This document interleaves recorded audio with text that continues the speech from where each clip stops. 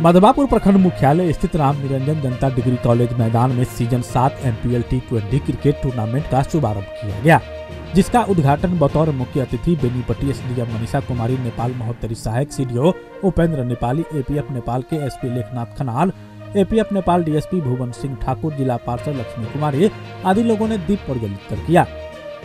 सर्वप्रथम कार्यक्रम की शुरुआत मंगल गीत और अतिथियों को मिथिला की परंपरागत पाग दुपट्टा पहनाकर किया गया। समारोह को संबोधित करते हुए एसडीएम मनीषा कुमारी ने कहा कि आज युवाओं में शिक्षा के साथ साथ बेहतर खेल की भी अपनाने की आवश्यकता है। जिस तरह बच्चे पढ़ लिख कर डॉक्टर, इंजीनियर बनते हैं, ठीक उसी तरह अब खेल को भी करियर के रूप में अपनाया जा सकता है। इसके बाद एसडीएम ने बैटिंग और बॉलिंग कर क्रिकेट पिच का उद्घाटन किया। अंपायर की भूमिका में अरुण मिश्रा व अशोक चंद्रा ने मधुबनी व बकरी नेपाल टीम के कप्तान के बीच टॉस उछाला, जिसमें बकरी नेपाल की टीम टॉस जीतकर पहले बल्लेबाजी करने का फैसला लिया। टॉस जीतकर बल्लेबाज करने उतरी बकरी टीम ने 20 ओवर में सात विकेट खोकर कुल 141 रन बनाए, जबकि खबर लिखे जाने तक मधुबनी टीम खेल रही थी। मौके पर जिला परिषद सदस्य मनीष कुमार झा, प्राचार्य जयमंतु मिश्र, प्राचार्य डॉक्टर सोमनाथ झा, प्रधान शिक्षक इंद्रदेव शाह, आयोजन समिति के अध्यक्ष और मुखिया राजेश कुमार, संयोजक सह सरपंच बलराम कुमार झा, मीडिया प्रभारी प्रभुनाथ मिश्रा, राकेश कुमार नायक, छात्र नेता बादल गुप्ता समेत बड़ी संख्या में दर्शक मौजूद थे। रक्षात्मक तरीके से खेला है, रन नहीं मिलेगा।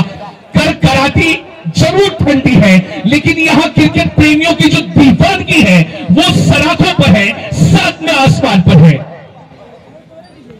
चलेंगे एक बार फिर से गेंदबाज।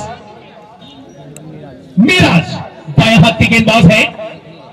और इस बार पल्ले का किनारा लगा है शॉर्ट पॉइंट तीस गज के दायरे में मौजूद है, वो नहीं मिलेगा। जलेश्वर बकरी के कप्तान से हमारी बात हुई जब शुरुआती छोरों में मुरारी ठाकुर से उन्होंने कहा कि पहले बल्लेबाजी करते हुए अप्रोच हम हंड्रेड फिफ्टी करेंगे। 24 जो आज ओपनिंग डे में उपस्थित कार्यक्रम के अध्यक्ष जी मंचासीन विशिष्ट अतिथि, अतिथिगण स्पेशली बेनीपट्टी से आए हुए एसडीएम मैडम नेपाल के मटियानी के मेयर साहब एस साहब एनआईडी के एसपी साहब डीएसपी साहब एसएसपी से प्रतिनिधित्व करते आए हुए ऑफिशियल कमांडेंट साहब कंपनी कमांडर साहब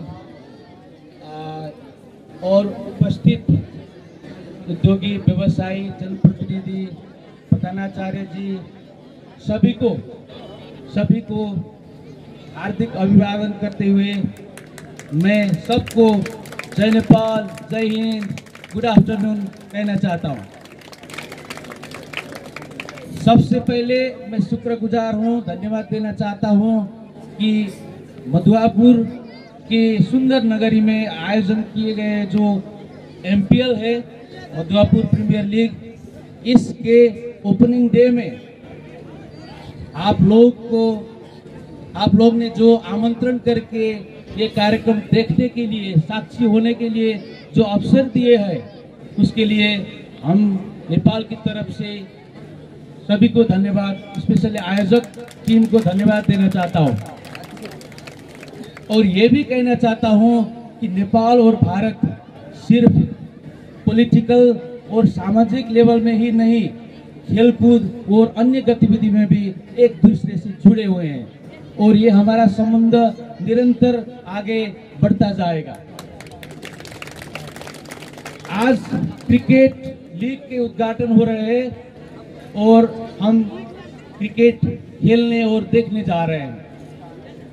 मैं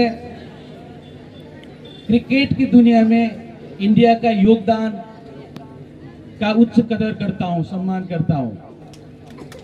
जो विश्व में क्रिकेट में भारत का योगदान।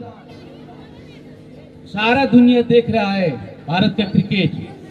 और अभी हम नेपाल में भी क्रिकेट का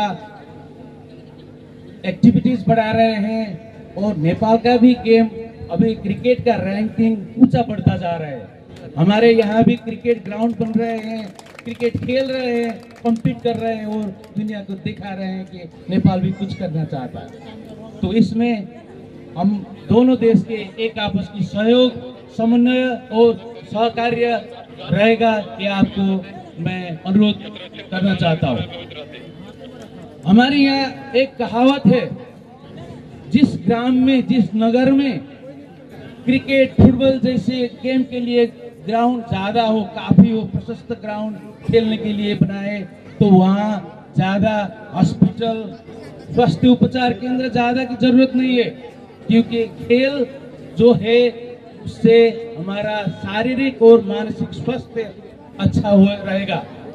और स्वास्थ्य ही नहीं, एक आपस का सहयोग टीम स्पिरिट अनुशासन और राष्ट्रीयता की भावना भी बढ़ता जा जाता है। इसलिए जो खेल में आबद्ध है, खेल को लाइक करते हैं, खेल देखते हैं खेल खेलते हैं। उन सभी को मैं हार्दिक धन्यवाद देना चाहता हूँ।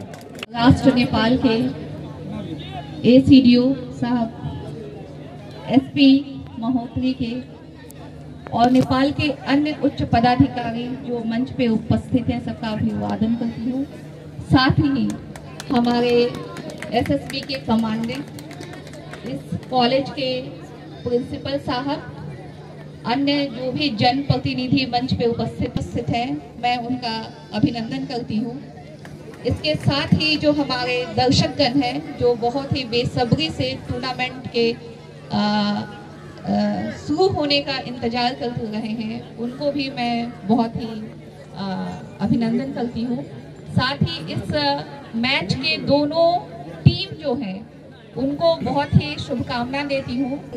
बहुत ही लगन से मन से आ, मैच में अपना प्रदर्शन दें। इसके लिए बहुत बहुत शुभकामनाएँ। और अंत में यहाँ जो भी उपस्थित हैं इस प्रांगण में हर एक व्यक्ति को बहुत बहुत धन्यवाद देती हूँ कि इस मैच को में वो जो ये क्षण है उसके वो साक्षी हो गए हैं। सभी को बहुत बहुत हृदय से धन्यवाद। राजेश जी कार्यक्रम के सह संयोजक एवं ऐजा के सरपंच बलराम जी। कार्यक्रम में विशिष्ट अतिथि के रूप में आए अनुमंडल अधिकारी मनीषा कुमारी जी, महोत्तर जिला के निमित्त आयोजना भऽ रहल है, तकरा आयोजक के प्रति हार्दिक धन्यवाद छी। आ जे प्रकारे मधुआपुर में खेल के प्रति अथवा दर्शक के जेना एकटा मेला जकाँ आयोजन लगे है जब आयोजना तब लंबा समय तक लोग खेल के आनंद ताहि लऽ कऽ हम अपना मन सँ आयोजक के प्रति धन्यवाद दिएला चाहै छी अब जो नेपाल भारत के संबंध के बारे में बहुत ही बढ़िया हमार सशस्त्र के एस पी साहब कहलखिन। लेकिन एकटा ई खेल से बाहर के बात हम अपने के अनुमंडल पदाधिकारी जी के हम आग्रह करेला चाहै विशेष करके भारत सरकार के प्रतिनिधि छथिन।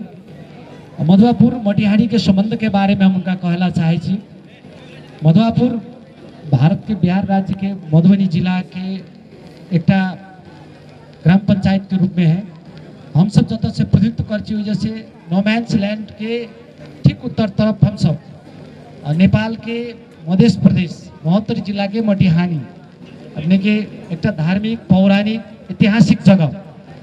ये दोनों गाँव के यदि संबंध के बात कल जाए तो संसार में कतौ एहन संबंध नहीं होते जेहन संबंध हमरा सबके बीच में, दोनों देश के बीच में, देश तो अपना जगह पर मधुआपुर आ मटिहानी के संबंध के यदि चर्चा कल जाए तो कतौ ओहन संबंध अपने के प्राप्त नहीं भऽ सकैया हम सब एक दोसर के सुख दुख, हरेक सामाजिक क्रियाकलाप से लग के, धार्मिक चीज़ से लग हरेक चीज़ में एक दोसर के हम सब पूरक छी अपने के। ऐजा के लोग, ओइजा हाट करे जाइए तो ओइजा के लोग ऐजा हाट करेला अभिया ओइजा के लोग शिक्षा के लागी हम सब कतारी हमहू ओइजा पढ़ने अपने के इंटरमीडिएट कैने तमाम लोग अपने के भारत सरकार के मधुआपुर कहल जाए विभिन्न किस्म के सेवा सुविधा हम सब छी।